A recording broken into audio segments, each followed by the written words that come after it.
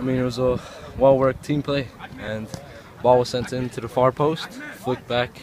We got a shot off the post. I penetrated to the, towards the goal, and I got the goal.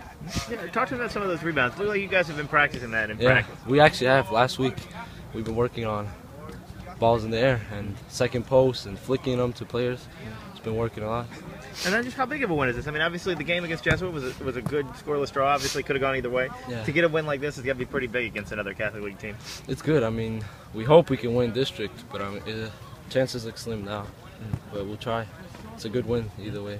And then where is the team right now? It seems like you guys just keep getting better, and it's the right time of year to be doing Yeah, that. every week, better and better. Hard practice. Team's getting closer. Everything's good. Congratulations.